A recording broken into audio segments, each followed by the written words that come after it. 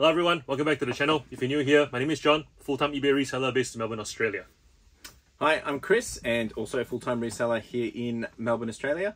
Um, yeah. Cool. Uh, you knew that we were going to meet up to exchange things from the conference that we went to a month ago. And when we were there, we had a three-way conversation with Jason from eBay All Ears Chat. And you guys found that really helpful, said that we should do this conversation type Yes. thing again. So here we are. We asked for questions, you delivered. They're in this bowl. Thank you. And so we will start answering them. And the first one being, what do you look for when sourcing, and how do you go about comping those items on the go, and when you list them? Cheapest. Yep. Ah, that's, Basically- a, that's, a, that's a loaded question. Basically, the the whole spiel of how do I resell items. Um, Am I asking you this, or are we answer both answering it? Wh- whichever, whoever feels Well, you can answer first, and then well i i don't go sourcing and comping anymore.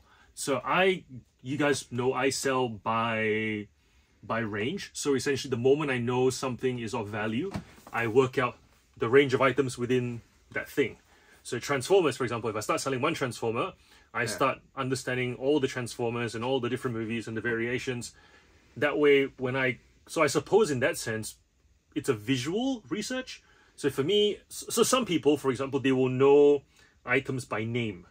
Um, they're very words based. Some people are very, you know, if I see it, then I'll, if I see Yeah. it, then I'll know it, kind of thing. For me, it's a, it's a visual catalog. So um, I'm the kind of person who, are, when I was into Pokemon back in the day, I'd have all the pictures and I know the names by the pictures, but not really, yeah, without the pictures. yeah, Yeah. So pictures mean everything to me. So for me, I would pump in a word into Google Transformers, and at the moment, if I knew that there were movies, I type in the movies and I just scroll Google images, Yep. and then somehow my brain picks up the images and the names under them, and then once I'm out looking for things, I'm on Facebook Marketplace. For me, with toys, it's bulk lots of marketplace.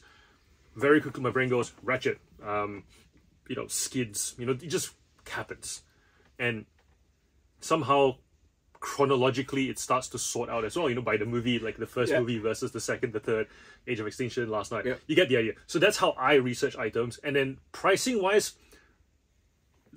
my brain retains the hierarchy of pricing. So for example i will know that one figure will always be more expensive than another figure. But as Yeah. to what the number is that's just as you as you pick it up you price it for that period. Because it's it's like fish market isn't it? It's whatever whatever fish is worth on the day you know you can't just you- like you'll know that tuna is always more expensive than this Yeah. but you don't know exactly what the price tuna until you catch it and price it on the Yeah. day so it's kind of like that with me yours Yeah, okay. Um, so I guess the way I'll answer this is traditionally I'm I'm an everything seller. Now I'm niching into more different categories that makes more sense. But if I was to answer this question from an everything seller, like what do I look for when sourcing? It's like, well, if I don't I don't have any particular expertise in one particular area, I naturally started to get into books mainly because when I was looking for shops, they're the things that kind of stuck out to me, right? Like, and that's you know, I didn't really say, okay, I'm going to start reselling and I'm going to start doing books. It was kind of like, how can I go into this shop and find something to sell and make me money, right? So now when I'm looking for things, other than like if I'm buying wholesale, which is one way that I'm sourcing now, but if I'm out thrifting, purely thrifting, um, it's now going in there with the intention of okay, what's the educational information or knowledge that I have, and I apply that into the store first, meaning looking for what I know, and then it's a matter of looking for things that wink at me. And when I say wink at me, like um, you know, it's it sticks out, right? Like it's it's like oh that looks interesting, or maybe if I'm looking in the book section, there's like there's a set of books, and you're like oh well they stand out because it's a set of them. So I'm looking for a trilogy or a set because naturally it's like well the more together that's probably going to sell more worth more as a collection as a lot. Um, i might look for certain styles so i like a lot of fantasy and sci-fi stuff personally so i tend to be drawn to that. Um, this is books once again. But you know i was just chatting to jon about um, i found a porsche gold leafed um, mug. I wasn't looking for it i was just you know oh yeah well, there's the mugs i walked past and it's like oh it's porsche. Everyone knows porsche logo and it's like that's cool and it's got a gold trim. It's like I looked it up on the internet. So comping, um, looked it up on eBay and looked at sold. If you don't know how to do that, I, I do have a video of how to look up sold comps. Link it. Um, and looked it up and I could see that, you know, they were going anywhere between 30 and $55. I was like, sweet, I'll take that for two bucks. So, you know, it's a bit of a luck of the draw, but I think that's the way I go about it. Um, if I'm now buying wholesale, completely different conversation. Probably a bit more like you because you know where your price buckets are or what you want to price things at. So I'm doing a lot of clothing. So I know I'll have shirts that I can sell at $40 every day, but then there's going to be the more iconic ones or special ones, which maybe it's because of the fabric or they've got a big logo on it or like it's really, really old. So I might be able to put that at $90, but I have to do the research on that. Sometimes uh, it is better to just, if I know I can get $40 for today, but it's worth $90, it might just be worth selling it for the $40 because I don't want to wait around or spend the time researching of what it actually should be.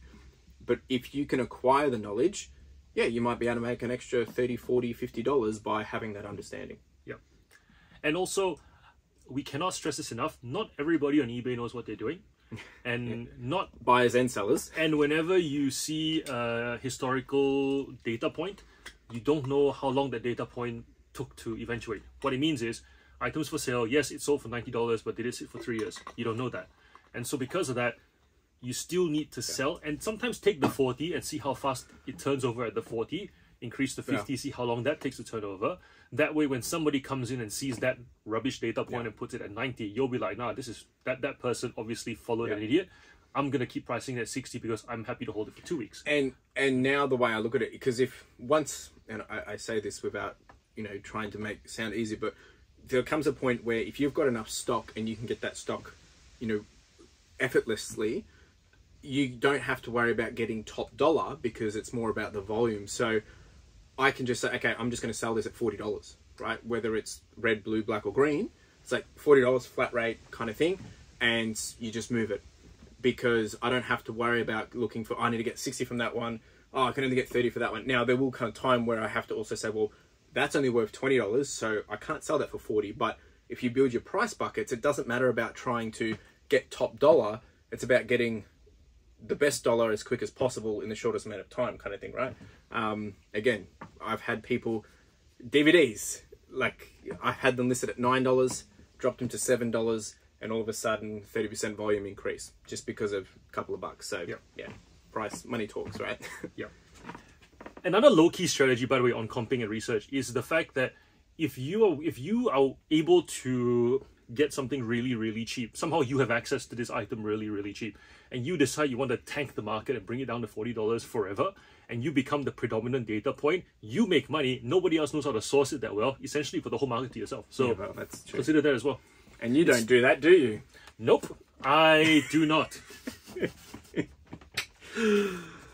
how do you plan your sourcing nowadays? Slightly different question. Do you actually plan to source? Um, well, yes and no. So it's funny because we were just talking about this. So if anyone watches my content, CL Furlong, that's my channel. On Wednesdays, I drop a sourcing video. It's called Sourcing Fodder. And now, traditionally, that's always been me going out thrifting or sourcing items to sell on eBay. Um, but in the last probably four or five months, I have not been relying on that for my sourcing needs to be able to list to sell. It's now become more of a thing that I just like to do, or keep it consistent with the with YouTube. But it's a way for me to learn, try new things, have some fun, and see if I can find some gravy. So, I mean, I guess, how do you plan your sourcing nowadays? So, I now plan in advance of like, because I'm buying a lot of wholesale or buying bulk deals or working with people that I know that has stock for me and I can go back to them. I'm planning ahead of like, okay, how much runway do I have? Do I need to go out and actually source from a thrift shop, like to get some extra goodies or whatever? or do I have enough? Now, usually when I have enough, I still go thrifting once a week anyway. One, we'll, we'll call it for mental health reasons, you know, just to get out of the office. but, therapy, it's yeah, therapy, right? And you know, I'm addicted. Um, no, but it is. It's a chance to go out and learn, and also take some of the research or knowledge that I've done from bigger lots and apply that. And as I've progressed, if you go watching the last six, 12 weeks, you'll see I'm picking up items that I wasn't picking up prior to that six, 12 weeks, like yep. more clothing and different things, or I can be a bit more nitpicky and like, okay, I'm not picking up those DVDs anymore. I'm now picking up that because I'll pay twenty dollars for it because I know I'll get eighty for it. Yep. Right. I'm not paying a dollar for a DVD if it's something going to get me ten or twenty because it's just like just can't be bothered mm. or it's, it's not worth it. I may as well just go list a shirt. Right. Um, yeah. So that's that's probably how I go about it now. I don't plan my sourcing, and I think that's actually a bad thing because with Facebook Marketplace, you cannot tell when somebody is going to put an item up for sale. That's true. And so, my biggest challenge actually during the day, from a procrastination point of view, is that I'm on Facebook and I'm sourcing. Um, I've set alerts to tell me when items are listed new, but even then, often I've noticed Facebook's notification function is a bit late. It's like delayed, Like right? yeah, it's like once it happens, you, you items have been be up for like ten minutes, Yeah. it's ten minutes or so. But then again, it's the thing. It's the, the whole FOMO thing. Is like if I don't, if I is this belief like if I checked earlier, I would have gotten it. Well, not really. So I suppose that kind of keeps me on my toes, and in that sense, I've come to slowly recognize that there needs to be designated sourcing times. If I miss out a lot, I miss out a lot, whatever. Um, and for the most part, I buy often and big. So I check, I essentially check Facebook Marketplace and Gumtree, I reckon once an hour. Um, but that's usually things like um, it's very strict search criteria, and it's um, I'm taking photos of a couple of tubs, put the tubs in the wall. Quite frankly, my my my speed slowing down anyways. Take out the phone. That's my like five minute just check. So I suppose in that sense, if I'm working ten hours a day, I'm sourcing for fifty minutes a day. Um, that's kind of how I plan my sourcing Yeah. because yeah, otherwise I, I can be there on for for you know an hour, and then sometimes I might change the marker, go to a different state. Yeah. It's like it's not a productive use of time. So planning definitely is better than not planning.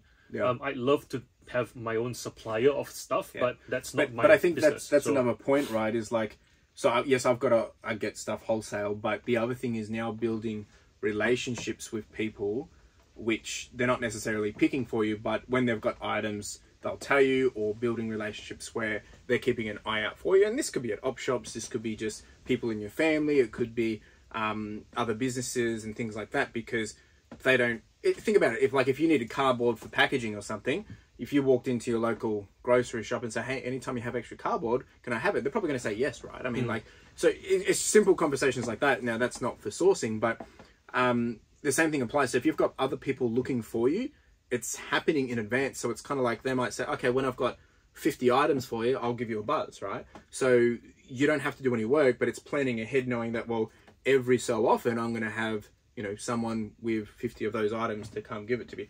I do the same for other people whereas when i get a bunch of stuff i don't want to sell them but i'll sell them to half price of what they can double their or triple their money with and i make a quick buck and they make a quick buck they've got their goodies and everyone's happy mm-hmm. and st- that's still sourcing in a sense for me because well, i've got the items still making money and yeah Cool. Hmm? Next question. What's a tiny one? yeah tiny one It'll be like a deep question. how do you tell if dvds are fake I've got no idea. I don't sell DVDs. so look And also, I come from Malaysia where DVDs get pirated regularly. So to me, I don't care. they're, they're all fake Yeah, they're all fake. I don't care. but Um, obviously, Chris knows better than I do. Yeah, so look, to be honest, I, I don't find many fake DVDs. Um, there's probably a couple of tellers, and there'll be plenty of people in the comments that I'm sure will have their opinion about this. Um, just to be frank, probably 20% of my store, 30% of my store is DVDs. Um, so the first tell is usually the cover, like the printout. Like that's that's my first tell. So if you pick up a, it's like if you picked up packaging or something for anything, Well, it's the off-center thing, isn't it? it's off centered. It just looks like you've literally printed it out in your local Like a uh, printer. DeskJet kind of thing. Yeah, and it just doesn't read right. So sometimes it can be a little funky. Now, if it's a good fake, that can be hard to tell. The first thing I would then look at is like, what's the rating situation on it? Now, people think, oh, if it doesn't have a rating, it's fake. Well, that's not true because there's usually a lot of international stuff that doesn't have the same ratings as us. Uh, so that's not always the tell, but sometimes it just doesn't have any rating on it. The other, or the big kicker, which to surprisingly I have not found many of these because I usually tell from the first two reasons, is the disc. The disc usually doesn't have any inscription in the center circle, which usually I can't remember the coding. So we're talking about the inner circle, yeah, not the outer one. um, we don't have a DVD here, do we? No, that's fine. That's fine. So, Yeah. so think of a DVD disc, and then there's the center circle. In that little center circle, there's usually there could be some codes, there could be some wording, there could be some numbering. It's different for every DVD or Blu-ray. Um, I'm kind of butchering this, but usually if it if it's a fake, it's like literally just a blank CD has gone through, so it doesn't have any of that inscription on it. And some of the real strong fakes, they're just like this blue. They're like a blue kind of disc. It's not like your standard. I guess you'd kind of call them chromish. Oh, yeah, yeah, yeah, yeah. Yeah, chromish, right? Um, if you've seen it, if, if you go into your, go go grab a DVD that hopefully isn't fake that you've got from a store, and you look at it and it's probably got a chromy color and it's really reflective. Well, the fake ones that are hardcore fake. Oh, it's like it's like the it's like a pearl, like like the color of a pearl, as opposed to the color of like this blue yeah, tint. yeah, correct, Yeah, correct. yeah. Um, and that's a certain type of fake. I mean, you know, usually, for instance, video games, same same kind of concept. Video games, burnt video games, are usually they're just like a white disc, Hmm. and it's just got someone's written in text there almost. But or you can see that it's been printed over with like a label printer. Um, but the DVDs, to be honest, the fake ones, there's not that many of them now because most people have a tell from op shops. Um, and if op shops do have them, I usually inform them. But honestly, I probably find more fakes when I'm buying a big bulk lot of DVDs than I do actually out in like the wild. Cool. Um, there's probably some people that actually, I think Uncle Wayno on his YouTube channel, he's got an actual direct video which we can link down below. I can give you that. Cool. That actually talks about how do you spot a fake because I mean he's the DVD king. So yeah. Awesome. Adequately answered. Next question. Oh, jeep, it's a big one. I'll take a drink of water. Janelle, keep your questions short. Oh, was this your now? this is Janelle's question. Uh, working on your own from home can be a very lonely time. Unless you have a lot of motivation and drive, how do you keep your motivation going and not procrastinate from and and not and not procrastinate? Cheapers. Um, I mean, there's there's so much I can unpack here. man. So if you don't know my This is this is like your whole podcast, essentially. pretty much. if you don't know my backstory, so I originally, um, a blur now. So end of 2020, I left my nine to five job with the intention of taking a two year career break, unpaid, with the idea to create something that I've always wanted to do, which was my podcast, and I've always wanted to own my own business. Now, going into that unpaid, obviously there was a lot of factors and considerations before doing it. I didn't just, you know, leave and think, you know, how am I going to survive? I did all the math and all that. But I knew if if I wasn't going to work towards all these dreams, aspirations and goals and actually try and figure out what those look those look like, it was never going to happen, right? While working for someone else. So I, I pulled the um car the rug underneath. Like, it just literally went cold turkey. But I knew I had to make money in order to survive anyway, because I didn't want to rely on savings while building a podcast. And I'm like, well, you know, I've done a bit of flipping in the past. I used to do that with my mate Cameron, and um, then got into doing the reselling and binge watch, and here we are two years later. So how do I stay motivated? Because two reasons is one purpose, and second is money. Sometimes they align. Um, but you know, I wanted to find what my purpose was in life. Now I'm building my my Further Your Lifestyle podcast, and that's really my end game and all that branding on it. But at the same time, ever since I started working full time way back when I was 18, 19, I wanted to have my own business. But I didn't know what that looked like. I didn't know what that meant. I tried and failed probably three or four different businesses across 10 years before leaving my full time job, and none of them stuck. This one has stuck, and I love it. I absolutely love it. So, the other thing to now think about is that's good and said because everyone can, you know, I am motivated at the start, but two years in, how do I stay more motivated? Well, it's basically I've got goals that I want and understanding what it is that I want, whether it's you know, buying a house or having this or be able to have podcast studio or have a warehouse or whatever it may be. I know what my end game is.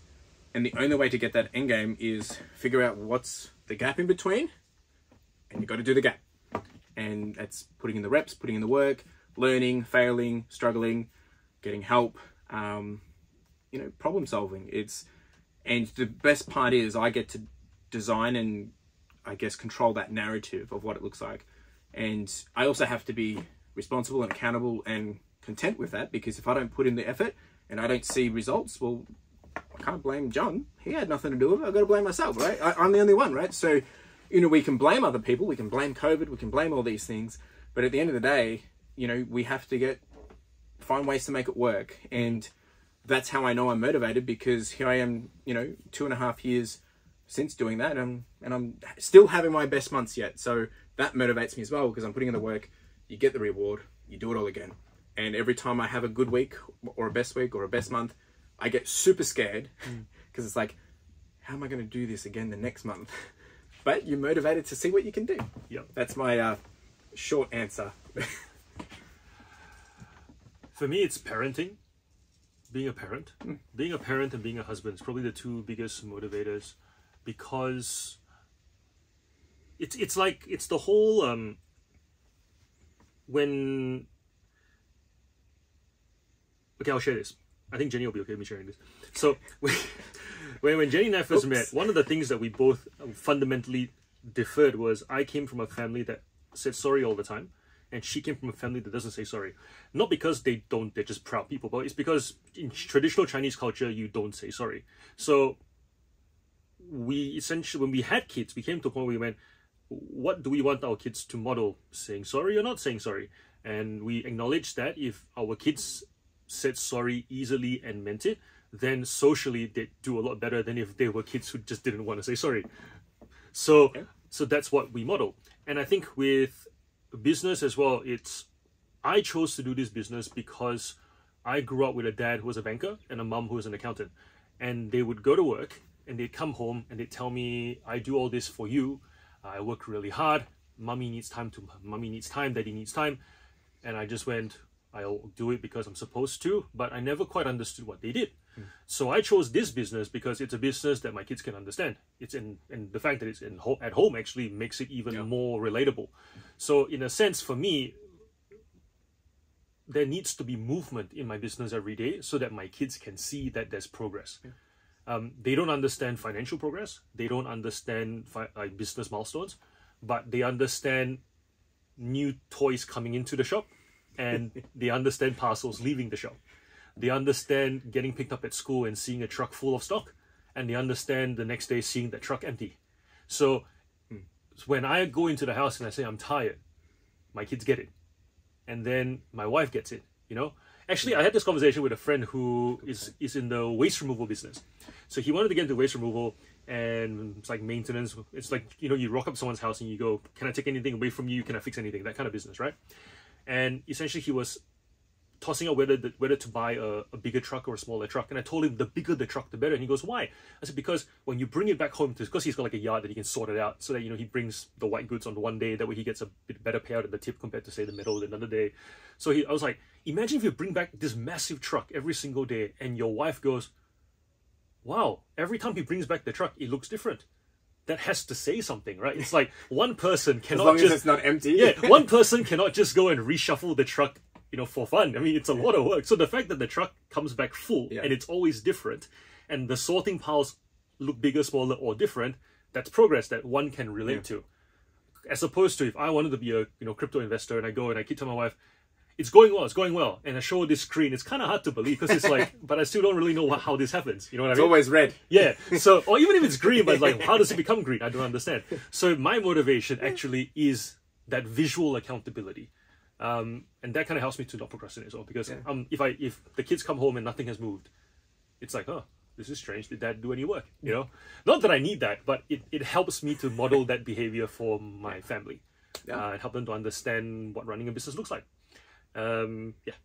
I think that was How do you keep? How do you motivate yourself? Keep Yeah. your drive. And Yep. look, just to be frank, like um, there is days where you know you're lazy. You don't you don't do what you should do, right? I mean, no, no, no, never. Like even even this week, like you know, I've been. I mean, here I am. We're we're we're doing this. We're not doing listings. We're not doing photos. We're not outsourcing. We're spending time doing this, therapy. and and you've got to be okay with it because you're not going to be able to do everything that you want every day. As much as you know, get your daily listings up, or do this, or you know, make progress. Yeah, sure. This is making progress. Um, building relationships is making progress. But the difference is you have to be comfortable with what you do. You get to decide when doing this, whether you're full time, part time, or doing it as a side hustle, and be comfortable with that, right? But don't don't take, you know, your guilt or shame or frustration of not seeing progress and blame it on other people or saying I'm not getting any results when you're not doing any work. So it's okay to not do listings one day or don't do something one day because you're tired. right? Mm-hmm. It's boring or Be, be real with it. but you also have to use that as a data point. Like if you're doing stuff and you're not enjoying it, why are you not enjoying it? Is because you don't understand it? Is it a slog? Does it feel like hard work? So then how do you find ways to make it easier? Does someone else need to do that? Maybe you don't like doing listings, but you love doing the photos. How can you do more of one thing and less of the other? Right? And build that into your ecosystem, into your into your business to make you feel motivated, right?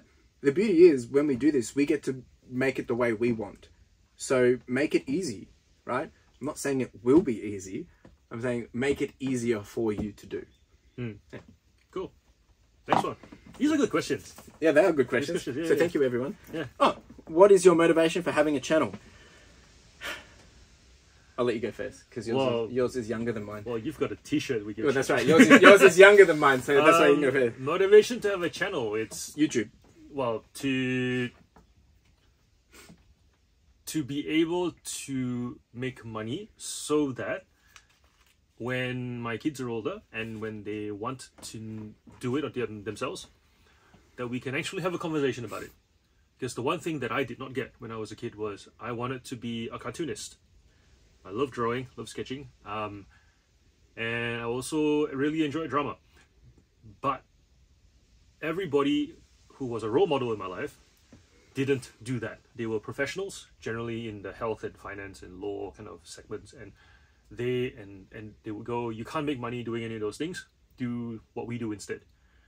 And here I am doing what I love now, right? I'm essentially this is a combination of drama, a bit of art, a bit of artistic expression. Turns out I'm quite a creative. So so then it's like if we end up here anyways, and I guess most people, if they are motivated enough to discover what they want to do in life, they always end up where they were meant to end up Yeah. anyways. That's true. Despite the fact that I had 12 years of banking before doing this reselling thing. And so That's very true. when I look at my responsibility as a parent, my privilege as a parent, um, and not just a parent of my own kids, like a parent in a community of kids, you know, because my kids go to school, um, parents get to relate to each other. One of the things that, one of the gifts that I want to give to my kid and any other kid who gives me the time of day is if you're a creative and you want to pursue this journey and have some sort of body of work that you can say, if I do this, I could make a living out of it. I want to be that example. So that's kind of my that's my main motivation for the channel. Uh, so therefore, the channel does have to make money. But when I look at the reselling, I'm a six-figure reseller as it is. Reselling is more motivating than making money on YouTube. So unlike some people who start reselling, use it as a thing for YouTube, and then YouTube becomes their main income, I don't ever foresee YouTube being my main source of income. But I do foresee YouTube being enough income to pay for one person's, I guess, full-time salary. So that way, if a because that's that that needs to be the goal. So that if a kid goes, can I support my family or do my share in a joint income household? They can go, Uncle Jon makes seventy thousand a year, and that's enough to be a contributing factor. So that's my motivation. And to be clear, you're not making any money on YouTube. No, no, hell no, Yeah, no, no. But but you can buy me a coffee if you want to, and I've never asked for it, it, but I guess it. now is the time. So buy me a Do it. coffee. The link's in the description. Um, so there's two answers. to This, in short, now the answer for the motivation of the channel is to help you further your lifestyle, which is my podcast, which is now on the channel. But my my ch- most people probably won't know this. Um, my channel has been around from like 2012, um, and it really took off. When I say really took off, I mean like I really started being active on it. was around 2015, and that was for running. And my motivation and inspiration for that was I was watching other people on YouTube, and GoPro released I think it was the GoPro 4 or 5, and they did like this video where basically it showed that anyone doing anything could document a journey. And I remember watching the trailer for the release of that, and I got goosebumps. And I was like, because at the time I had just started doing my weight loss journey and I was starting to run. So I'm like, you know what, stuff it. I'm going to get a GoPro and I'm going to start documenting my running thinking that you know it's going to change my life i'll be like you know balling in the dollars and it'll blow up and everyone will like it that doesn't work like that so i remember getting the gopro go out for my run and i, I Buy a GoPro, Yeah. uh, you get a dose of reality for free. and and what I couldn't work out is why did my footage not look like the trailer? right? And because they go for a run, and back then they didn't have stabilization in GoPros. Yeah. Um, so I'm running, and I think I struck did the harness here. So I'm running, and everything's just like like you know like no one can see anything. the- And it wasn't even 1080p then, right? and it, it was it was shocking, but I did it anyway. And then I eventually started just documenting the running progress without talking um, and it was pretty boring. But you know, I felt motivated by it, and then eventually I started documenting my first 5k, then doing training plans, 10k, and I progressed from there. And it was predominantly a running channel. Um, and then when I stepped away from the nine to five, I started thinking about well, I know how to document. I know how to do progress. Like I used to do my marathon and half marathon training plans. I'm like, well, why don't I do this in building the lifestyle that I want to create, while at the same time creating a podcast called Further Your Lifestyle. Um, and now that's the motivation. So I do this literally to share my journey to help others know that you can do what you want. And I try and document that through, you know, my actions. And that's why I'm very transparent with everything, with the business, sharing my numbers. This is what I'm doing. If you go watch back two years ago, it's cringeworthy stuff. Um, but we all start there. And I don't have anything to hide in that sense. Obviously, there's elements of things that I can't share because that that's my business, how I make my money. But there's plenty there that I can help others do and achieve. And it's not about even the business; it's just about helping people further their lifestyle, chase their dreams, aspirations, and goals. So, yeah, that's that's my motivation for the channel. And go listen to the podcast. One of the I wouldn't say motivations, but benefits of having a channel is that my wife doesn't hear the same thing over and over again. Because um, you, it's funny. I talk to you guys on the channel and talk to Chris uh, or any other reseller, right? And then the because with, with with videos you have to get to a certain point. You you cover a few things and you know you build up this. The Chris oftentimes I'll have an issue that I need to discuss with Jenny regarding the business, and she doesn't need me to build up that crescendo of that what, what you see in that video to get to that point you guys do because you Yeah. won't be hearing for the first time or you haven't heard it three days ago Yeah. so doing youtube actually helps me to get that crescendo out of me so that by the time i talk to jenny i'll be like so here's what i figured out and she'll be like cool Yeah. and it actually makes sense because she's already heard all that stuff before Yeah, So and, that's- and- no, but that's the same for me. Like half the time, like my weekly videos of running, weekly videos of me sharing business updates, other than the sourcing, like, I mean, it's really just me talking to myself anyway. And the stuff I'm sharing to you is the stuff I've only just learnt myself or realized, and it's it's, it's as much as my telling myself than I am to you. So. I- I definitely don't get up there and say, I've got this all figured out, do this and it will change your life. It's like, well, no, this is what I've done and it's changed my life or it's working. Therefore, I want to share it with you. And I also do want to address, I do make money from YouTube. And yes, my long term goal is I want to be able to have YouTube. Same situation is whether it's replacing an income or an additional income stream.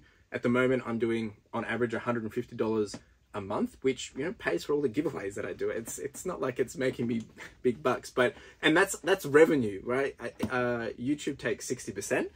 I only get forty percent of that. So, you know, I just want to make sure that's clear because yeah, of course I watch my videos, make me more some more money, and it feels good. It motivates me. But at the end of the day, I was doing all of this, the runny journey, the podcast, and the reselling content way before I started making money because I've only been making money on YouTube for a year. So, yeah, cool your turn. how do you go about finding a tax agent to lodge returns Oh, Ethan Rushok. darren haycraft lmp Um, yeah, so I mean, look, I mean, I, I think it's a good thing. So prior to me doing this at a full scale, I, I had just just a random tax agent, you know, franchise, whatever, and I remember taking them through the process of what I'm doing, and they had so many questions, and they didn't understand it. Like they understood it, like from a business perspective, but there were so many things there that I wanted to do right. Being a background of project management with numbers, I was like, so how do I solve for this, or what do I do here? And they couldn't really give me answers that I was comfortable with. And then for me, naturally, I found Ethan Rushok, which I highly recommend. Biased because he is my accountant, but it works. Um, I found him by accident. You know, similar to me doing his own thing. He started his own accounting business.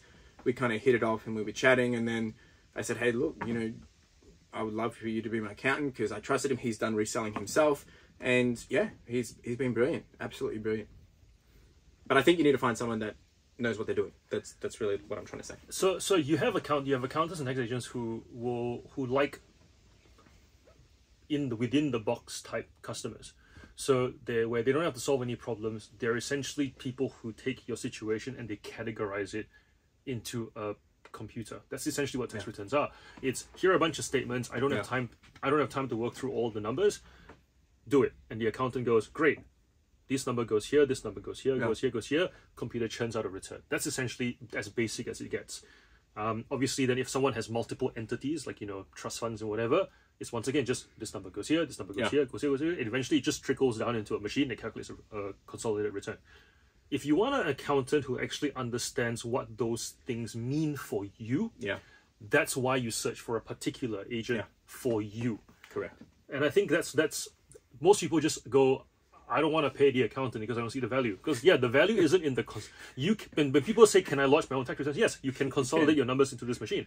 But for me, I'm I'm entrepreneurial and creative. My wife is not.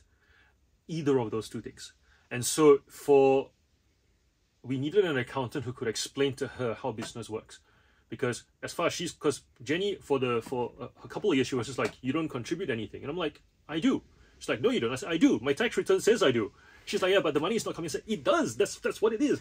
And and that's because she's she was someone who goes to work gets a salary and but she had this understanding of business that was not quite right. And so now she's great. But having an accountant who is for me my value was i need an accountant who can play both sides of that you know Yeah. employed self-employed um, coin to help her understand here's how your finances come together. Notice how you still have your house you're still paying your bills the kids are still going to school you know all that stuff's still happening. And it all still happens because on the numbers you can't just do it on your own. If you're doing it on your own you these stuff all these all these Yeah. things don't get held together um, helping her understand hey you know he's profitable. It's all just in stock at the moment, and especially in the early stages when you're when you're. I remember the first six months we bought thirty grand, we sold thirty grand, and the whole double garage got filled up, and she's just like, "Why are we not seeing any money?" He's like, "It's because it's in the garage," Yeah. and she goes, "But isn't it meant to move?" He's like, "Yeah, but he hasn't really. He's only he's only building inventory." So in three months' time, if his stock starts to turn and the stuff from three months ago is selling out, three months stock turn is just standard for retail. Like all that kind of stuff made no sense to her before meeting the accountant. So there are accountants who will not take the time of day to explain to you what you need. So in in Chris's case, very analytical, data driven um, seller. For him, it's like he doesn't have any relational things his accountants do, but his accountant needed to understand where where his numbers were going, and, and and providing with some sort of data crunching Yeah, but but it was also because Ethan's also got his own small business and he's done sim like he used to sell pop vinyls as a as a business online, so he's relevant to it, and his niche is small business, tax accounting, and crypto. So it's like it's all relevant, right? And plus we hit it off and we're good friends now. So like you know he's likable. We we do chat outside of the accounting world. Um, you know he's someone that I can chat about other stuff. He does YouTube as well. So you know I think you know if someone was to ask me um, you know, this question again without any of that context that we just said, I've always had the idea in my head that as I build a business, I want to have my go-to guy from accounting. If I, you know, if I have to have a lawyer, I want to have my guy that I go to, right? Building that loyal um, relationship and partnership because I might not need them every day, but when I do need them, they're the guy that I want to call on or, or girl or whoever, right? Um, and building that portfolio of people or a collective group that we can help each other because it comes back to the whole thing about purpose and and um, making money is like he knows what he's doing and I don't know necessarily how I, you know how to do that. So it's like well I'll give let him do that. That's his purpose and he gets to make money from it. And because of that it helps me with my purpose and I save money from that right? So it, it just makes sense. It just makes sense. Yeah. So yeah, that's the uh, tax easy question. I'll do the big one this time. Even though it's. Many people struggle with postage. Go through how you work out the postage costs for Australia and international. You do international, I'll do. Yeah, sure. Yeah. I mean, we can jump in. Oh, or do you want to go first? Um, guys, guys, It's a heart to heart with Jon. I don't, don't, don't take this the wrong way. Working out postage to me, the inertia, inertia is that, that thing that that pushback you feel right inside. It's like ugh, that feeling.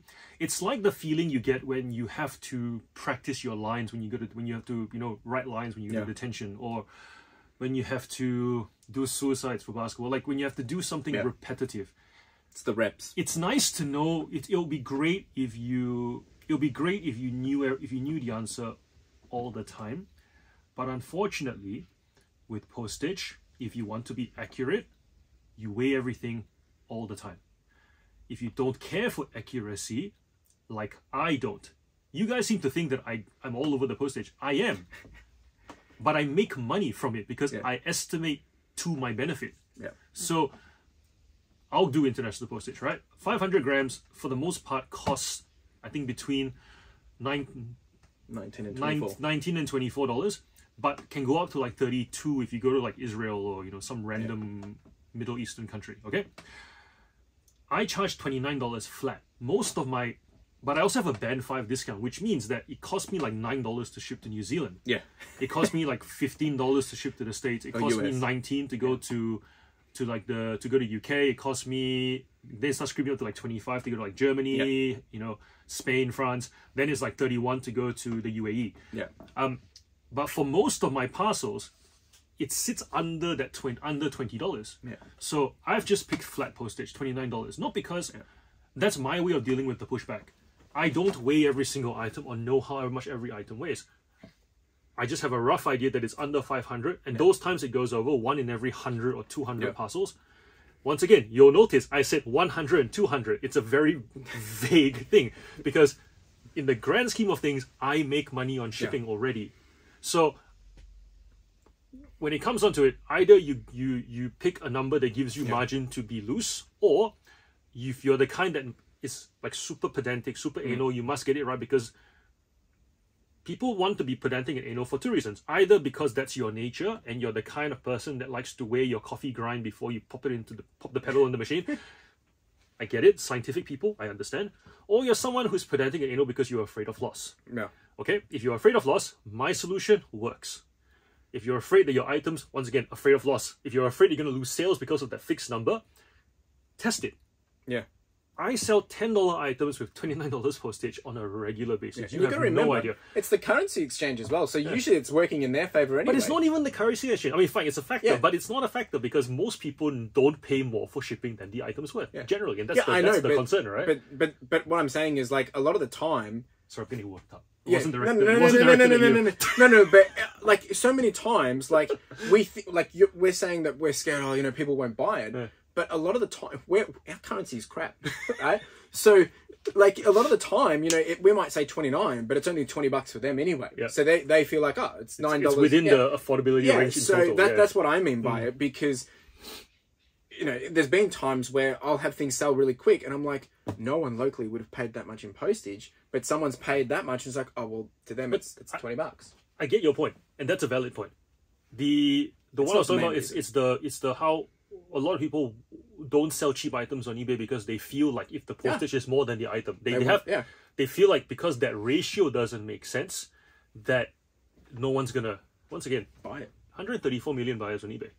You know, like like your way of doing, your way of your way of spending money is not the only way. Yeah. So um, if, if it's the fear and fear and fear and fear kind of a, if you're that kind of person, just give yourself margin and Yeah. test. Um, and once again, there's so many factors in business that if your product is not a product that people will pay more in shipping than the item's worth, don't carry that same mentality into the next category that you sell in. Yeah. You know, um, I have in baby clothes, most people will only most people don't want to pay more in shipping than the items worth. But in collectibles, that rule doesn't exist. Yeah. You know, in collectibles, I will ship a two dollar car because that person drove that car, and it means something. And nostalgia, you know, the elasticity of nostalgia, right? like they'll pay two dollars for that that Honda Civic in that shade of red because that's what they drove when they were a kid, and then they'll pay twenty dollars so that you can sit on their table, and they'll send me a photo of you going, "My table looks complete." I'm like, It's weird, but you. it works. yeah. So so yeah, that that's so that's my take on postage. Either you measure everything and must Yeah. be accurate, in which case, if that's your nature and you're scientific and you're one of those coffee grind people, factor the time to make it happen. Yeah. Um, but if you're one of those fear, fear, fear type people, just give yourself the margin and And and uh, so for international, I do calculated, but a lot of my items, it's either books, clothing, or DVDs that are going that I sell international. Maybe collectibles, and that one I'm really going to measure it. I mean, and way to measure it, but it's pretty much the same thing. Most of them are under um, 500 grams, and it's actually 455 for a lot of places as well. oh, there you go. Yeah, so there's there's some there. 400. If it goes over 455, it triggers over the 500 gram amount. Um, did, did they drop it recently? No, thought no. it was, I, always I, thought it was I learned it the hard way because I put it and it was like it was like 460, and I'm like, why is it 25? right, and it, the and, same problem. And here's the thing, I'm just showing you that I don't. I'm Yeah. not. I, I am not. Was it well, you've got the factor in the 30. But I'm not the right? fine. What's it? The fine tooth comb. What's that thing they said? Like the the Uh, yeah, I. I- I that know, that saying. Like sure. I don't I don't go over stuff with that kind of detail. Yeah, and it, you you don't have to, right? As long as you've it evens out anyway. Like if you lose some on one, you make it on the other. But for me, I'll answer the. I mean, I do international, but I'll answer for the the standard postage. So same principle applies. Is you got to have somewhat somewhat of reps and homework, right? Mm-hmm. But I can walk into a store now, and I hope you don't mind if I pick anything up here. Is that okay? Yeah, Okay, this, so is a, this- this is a big bulky If. I look Go. at this, maybe not the weight because I don't know how much it is weighs, but this is probably probably five kilos because it's Lego inside. Maybe a bit more six. Do you want to test it? No, it's fine. um, but you know, I know that it will probably cost me anywhere between eighteen and twenty-two to send this, depending on the box. Yeah. Um, sometimes more because depending on your cubic or if it's whatever. So this is the one that I'm going to make sure I double check before I send. Whereas something like a, a toy car, for instance, I know that that's going to cost me nine dollars seventy, not including any band. I am on band five, so it's probably only going to, if it's local, it might only cost me five dollars eighty six, right, or seventy six or whatever it is. But I know worst case this will cost me nine dollars seventy to send it anywhere in Australia, right? So I can look at it, something that's even smaller than it, right? If it's half the size of it, a book, for instance, that it's going to be the same price, nine dollars seventy, because I'm going to put it in a padded mailer. Yep. It's not going to go into a large box or anything, but um, Australia Post makes it easy for us because we have small, medium, and large, right? And then that's all under five kilos. So Yep. if you've got a bundle of things, you have to weigh it. But if it's one big item and it's not necessarily heavy, well, you know if it doesn't fit in a medium, naturally it goes into a large. So the worst case it can be is like sixteen dollars and eighty cents or something. Uh, so what I would encourage you to do is in your niche, in your things that you're selling, and this is very hard if you're an everything sale, uh, seller, but you'll soon learn, is have an understanding of what's the highest in small, medium, large, and always take that into consideration. Anything less than that, any band savings, well, it's gravy on top. But I know I can probably fit two to three paperbacks in a small padded mailer. I can probably fit more than that in a medium, and then in a large box, well, it's probably going to be even more again. So you need to factor that in, but it's only going to happen over reps, right? Unless you sit down and start measuring everything. If you can't take it off from memory, do what we said and weigh and measure everything before you do it. That's that's the only way to do it, or be comfortable with missing one or two here and there because you will, you really will. Um, but that's that's really the way I go about it. It's there's no really there's no quick win to it other than it's a, figuring it's it a manual learning process. And for me, when I started reselling, the way the, the way that I did 30 grand in six months, my first six months, was because I realized that people were not like after you bought an item on eBay, there was no no one followed up. The only messages I ever got was leave us feedback.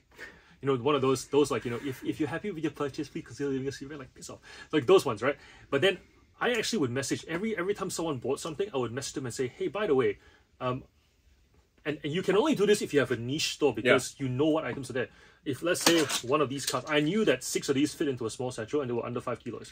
So I'd say, Hey, you bought one, would you like to buy five more? Yeah, because it's the same price. and then and then they would then and that's how I would sell. That's how combined shipping became a very big part of my business because I manually messaged everybody. Yeah. And you'd be wondering, isn't that a lot of work? No, just go to text expander. Like you got text replacement in your in your phones. Yep. If you type in, you know, um, ENDP. ENDP is not really anything you'll ever use. I put ENDP, it will just spit out, go, let me know. my description. Yeah, let me know if you want to buy any other items, da da da da da. And I saw I would pump in literally 10 alphabets and it would be three different sentences, send. Yeah. Hi name, thanks for buying this. One, two, three, send. And I do it for every single sale. And if you think that's it, that's risky because you know, oh, what if you go over the over the weight? Doesn't matter, you're moving volume. yeah, So you're you're yeah, making, you'll make it up with the. you yeah. make it up on the volume side of it anyways. And on top of that, most of you, when you get onto eBay, you look at the you look at the retail for shipping, so you'll go like 970 and then you'll go, fine, I'll charge 992 because I need to make like the feedback. I'm like, no, I charge nine dollars because I've got the band discount, I've got the volume from moving and combined. and you're still making money. So my math on my items when they're for sale, the math is so easy. It's like nine dollars shipping. It's a flat number. And so when people come onto my category and they want to compete with me, first thing they do is they'll match the price and be like, why haven't we why haven't we sorted by lowest price? All right, because that guy is still 99 cents cheaper shipping wise.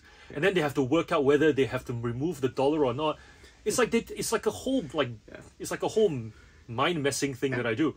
But you can do that if you understand your numbers. your numbers, but you don't have to understand your numbers to the nth degree.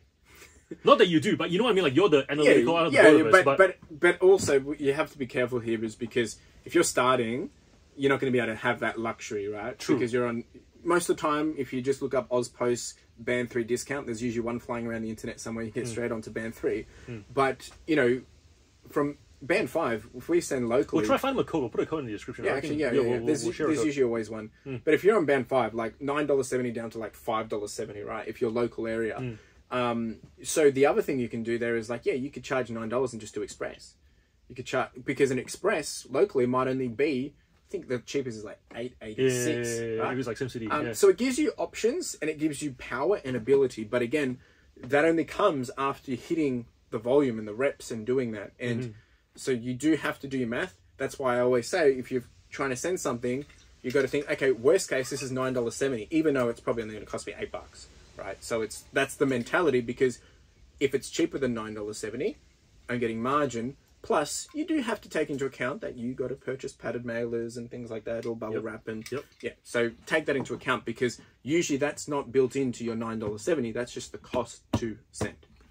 And then once you once you get used to people paying postage for items, because that's once again a concern, people are not going to pay postage. They will. You can then do your combined postage rules where you know you add like five percent which every every, every item. So essentially, if someone buys one item, they pay nine bucks. Then once they get to like the tenth item, it starts to look more like twelve dollars, and then you, you essentially have enough to cover the medium size, anyways. Um, yeah. So then combined postage ends up being quite straightforward as well. Um, break just just remove a lot of the man all of the manual steps um, with margins that you know will Yeah. in the big picture be profitable. And that's really what business is at the end of the day. You're taking a step back. Because if you think about it, like Kmart, you know, Big W, when they send you an item for free free shipping, they're not always making money. But they understand that the volume moves, the space comes back, they are able to turn the stock over, make profit again. In the grand scheme of things, it's profitable. That's all that matters. So I think that more or less covers the uh, postage question. Yeah, yeah, it does. Cool. I wasn't expecting us to talk. What time is it, by the way? Uh, we're still about five minutes. Oh, cool, cool. Good half hour. Cool. Yeah. What is one constant activity that you attribute to your success? Oof. It's the hair. Samson hair. Definitely. oh, that's it. Oh, jeepers. One. What is one constant activity? So it's an activity. So what what we're after is what what do you I got do? One. I got one. Yeah. Routine, hundred percent. So I'm a routine junkie. Yep. um, and building a routine that works for you. So like, we're both full time resellers, but we work complete opposites. He's working at two a.m. doing listings, Yep. whereas I'm doing them at a completely. I have no time. I have no Yeah. routine. But the other thing is, different lifestyles, right? He's got kids and family. I've got Carla, and I, I still live at home with my face. You've got Carla and now you don't have Carla for a few months, Yeah. so you're like free. So, freer. but, but with that, it gives opportunity, right? So you can flex in that routine. But my YouTube stuff is all routine in terms of what I'm dropping, when I'm dropping it, when I'm doing it. My reselling, I have certain days that I do certain things, whether I'm sourcing, going out, blah da da da. Of course, I can flex it, but that routine enables consistency. And as I said in one of the earlier questions, is you you know you want to make things easier for you. You get you get to control your routine. Well, most of the time, if you're working for yourself, maybe someone else. You know, if you're working for someone else, you don't get to control that time as much because you have to work from nine till five. But take control and build a routine of what you can control. Right. So I do my running, I do my YouTube, I do my podcast. I can come out and socialize with Jon. I do my sourcing. Oh, we're not socializing. This is work, man. Yeah, well, we've socialized. We we were eating pies, man. Um, but the point is, is right. I think I think the consistency of a routine. Yep. Because if you have a good routine, it enables your ability to do things consistently, which means if it's a healthy routine and it's productive, then you're consistently productive. Yeah. One activity. I think for me, it's talking, talking about it. Uh, No, Jay. it's um it's like actually telling people what I do. So Oh, yeah. Jenny finds this irritating because she hears it all the time. Um, same thing over and over again. Um, but it's like like we'll go to weddings and then we'll split and people will go like when most couples stay together and socialize as a couple we split because essentially I want to go talk to as many people as I can. Not because not because I need that socializing, I don't enjoy it, but sorry, sorry. That's that's that came out wrong. I do enjoy it, but I don't enjoy it the way a social butterfly looks forward, like you know, yay, you know, like like you know, a kid in a theme park. You would That's never not- guess it though, would you? You would never But- guess it. like uh like Chris saw it first time when we were at the conference. I was nervous as anything. I was like sweaty hands and like I was dripping sweat. Was I'm no social butterfly, just to be clear. and uh, and uh, I even wore contacts because my glasses kept slipping off my face because it was like I was sweating too much. Um, but yeah, anyways, so but I talk about it because I want feedback. And I want feedback not because I my ego needs validation. I want feedback because it really helps to put everything I do into perspective. And so it's very it's it's easy to be it's easy to build something, fall in love with it, treat it like your baby, and then the moment things don't go your way, you you you get disoriented. Yeah. It Um, throws you off. It throws you off. And so for me, I like telling people what I do. Uh, I like telling people where I'm headed. Jenny hates this because Jenny will go, like, we'll see the same person, say in six months to a year, and they'll be like, oh, by the way, has this happened yet? I'll be like, no. And then they'll, Jenny will go, yeah, yeah, the plan's completely changed. Like, babe, why do you tell people about these plans? Like, these plans are never going to eventually. I'm like, yeah, because I want to hear the feedback on the plan. Yeah.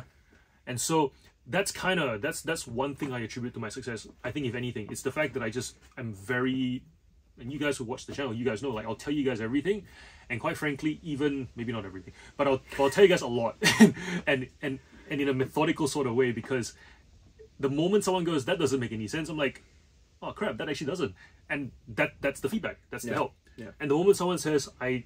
Um, like here's one right i found youtube really really hard to do because I was nervous, self conscious, didn't know how to edit.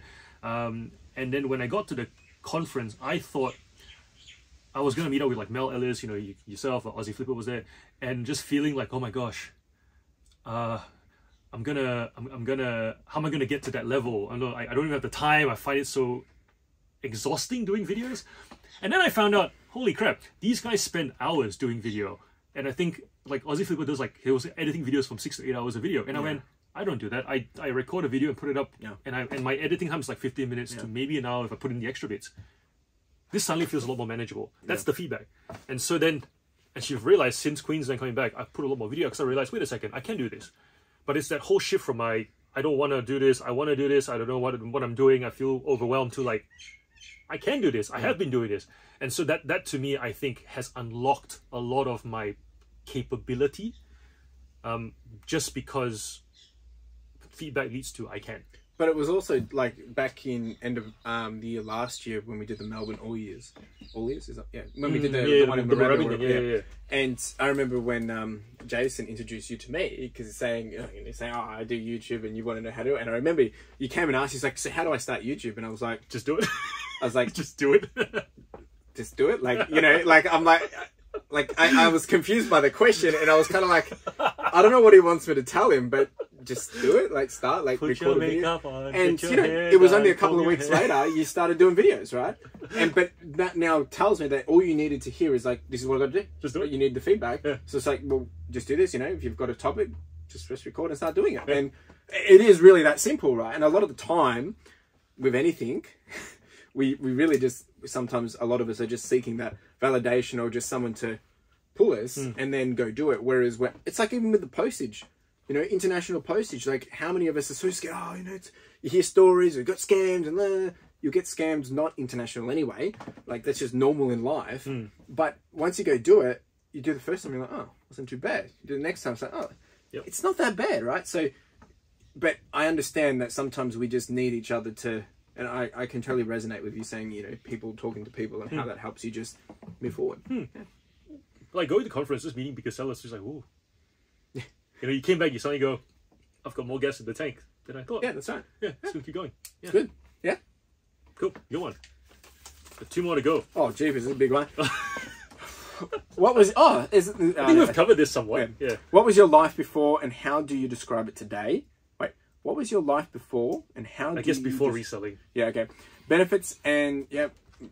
What were you doing before, and how did you get into this thing called reselling? Feel free to talk about eBay. Basically. Yeah. Okay. We covered this already. Yeah. Um, I mean, in in brief, for me, um, worked for a professional services company.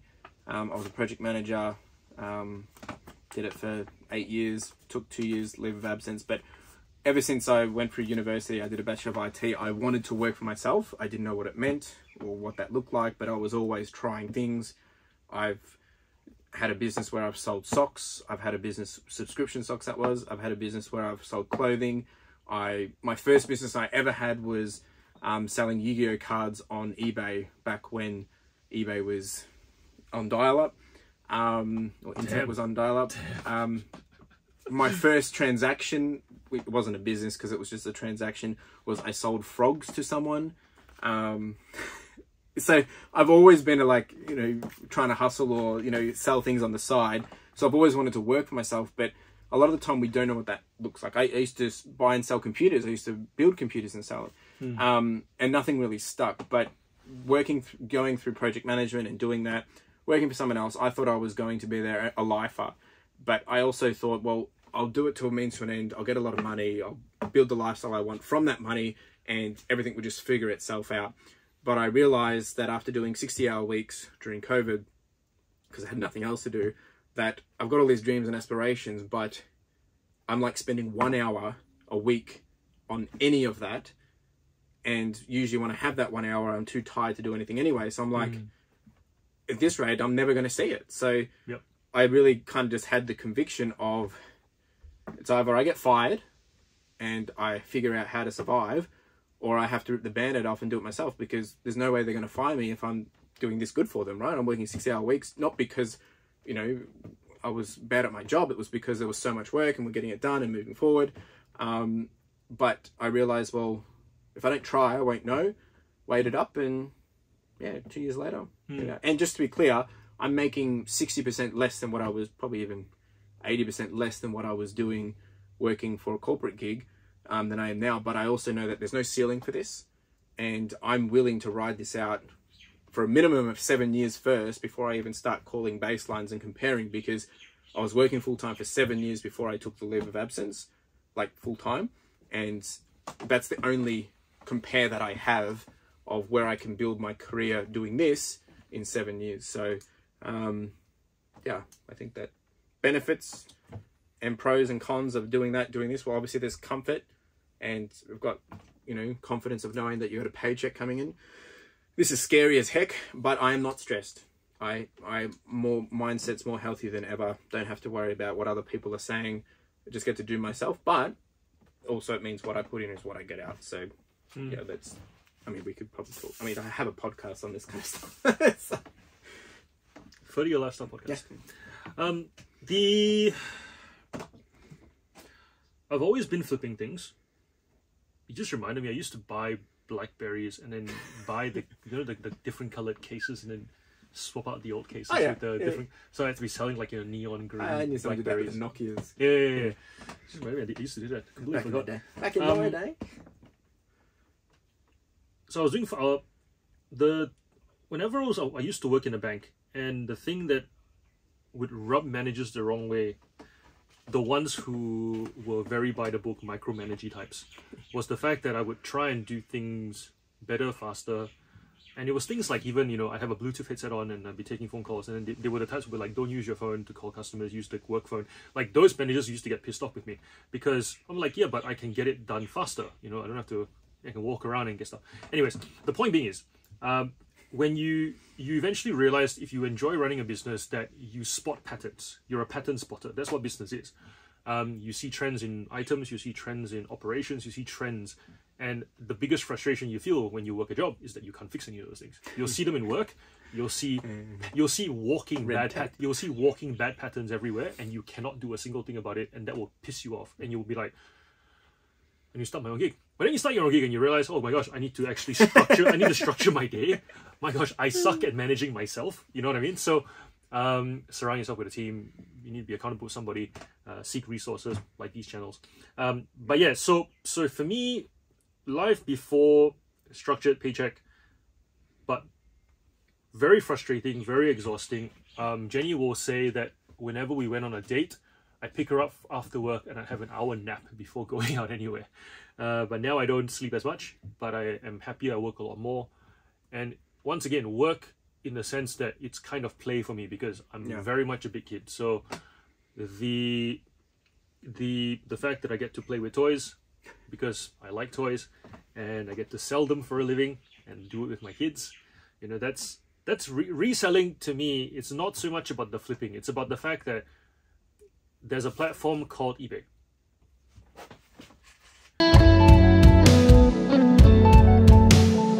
That allows you to sell anything that is legal and safe and within reason. Boundaries. and there, there are there are exceptions, but it's a very small list of exceptions compared to everything it's- else. And good the fact that there's a platform that allows me to take any item and sell it, um, in, the fact that that that that is possible means that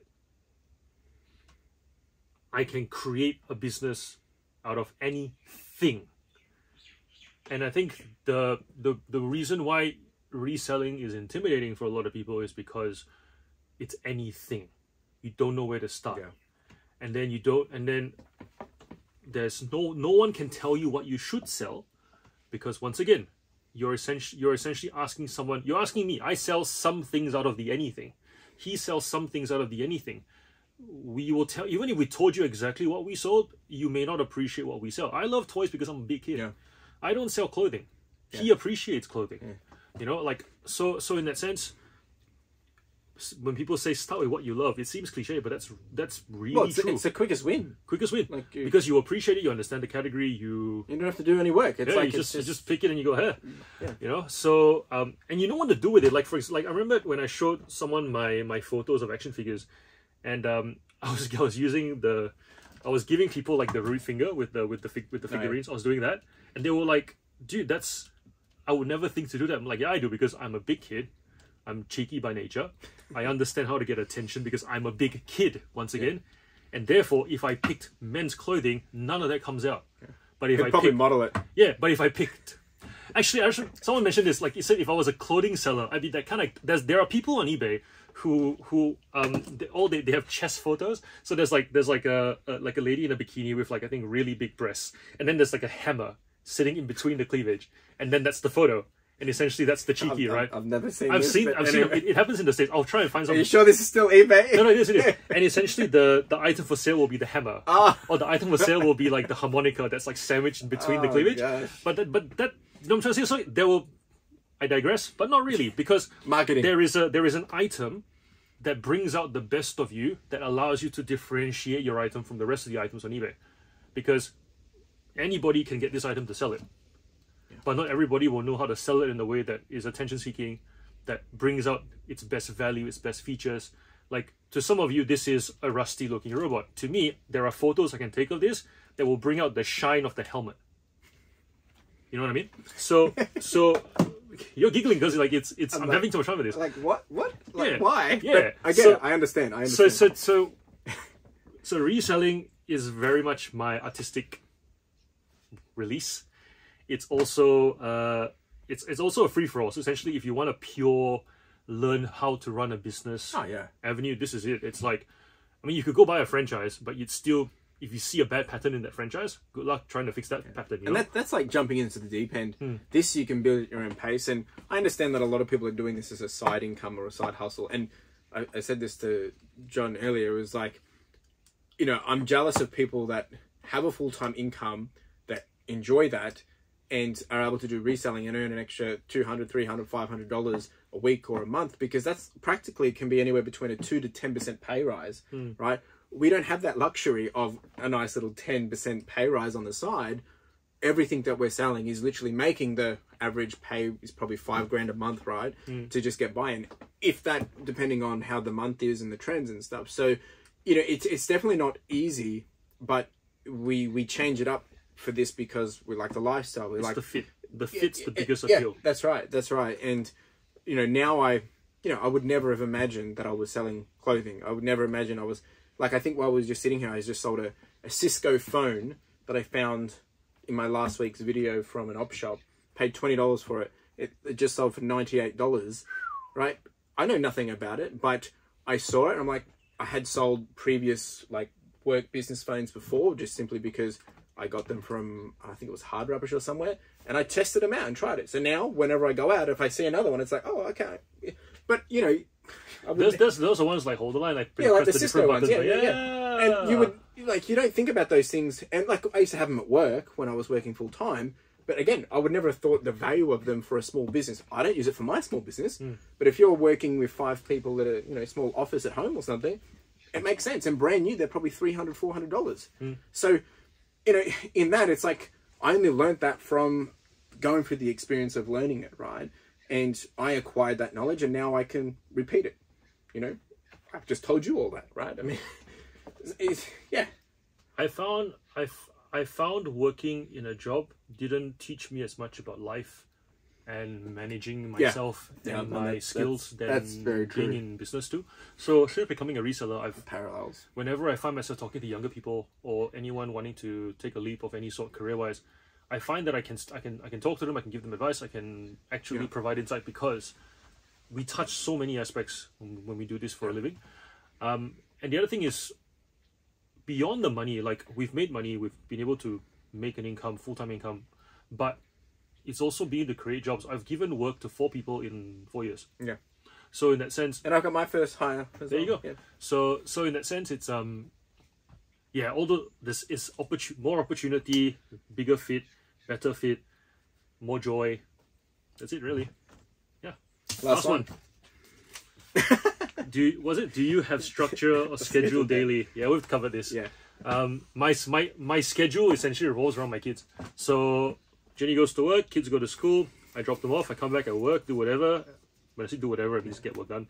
Then go pick up the kids if I need to. Send them for extracurricular. Come back. They go to bed. I work at night. That's my. s They essentially are my fixed. Mine, mine's off like a, a bit of a tier system in the sense of I've always had, as, as I said earlier, I'm a routine junkie. So I've always had certain days for certain things. So like if I take it up a level outside of business, it's like Tuesday nights, family night, we have night shows, for instance. Monday night, you know, is when we do certain something else or Friday, whatever kind of thing. So there's that layering of just life in general. But then I have routine for when I'm releasing YouTube videos and I then work around that knowing that, okay, Mondays, this is what I have to do. But then I have my post days. So those are the certain days that I'm posting. Um, and then I have to adjust that routine as things change. But yeah, oh yeah, everything is routine based. And I know that Friday is usually, Friday is usually the day I go out with Carla and we hang out and do stuff. But Carla's not around, so I've been using it to catch up with friends, go out and do other things, or play catch up, or get ahead, or you know, do what I want to do. Hmm. Weekends, I try and not do as much work, but if I don't have anything planned, I just work. I mean, hmm. what, what else am I going to do? But again, different lifestyles and things like that. But yeah, hundred percent routine schedule.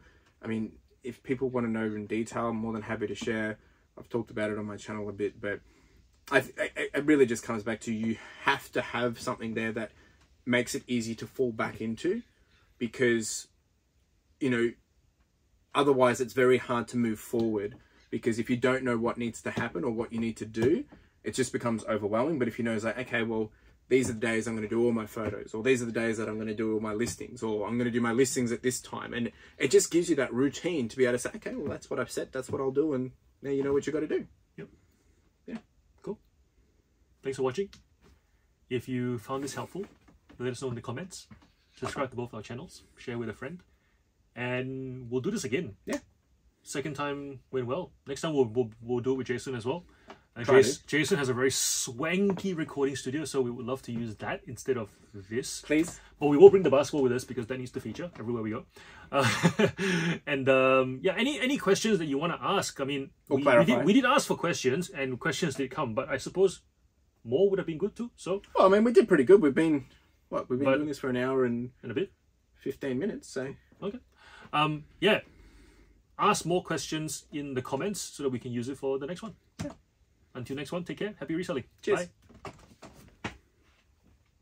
good stuff man Well done. Can't shake the feeling like we didn't record. But we are recording. It's the pause. Alright, cool. Next time you'll be like, if you didn't, if this is not recording, I will kill you. I quit does this make my thighs look big no. Hello, everyone. Welcome back to the channel. It's so, it's so, it's so strange. Like you, you, you. you want to start again this is so awkward. is it re- already recording It is recording. okay you think Yeah, it is. It is. It is. Wait, wait. well, it was the same time when we did it with Jason, right?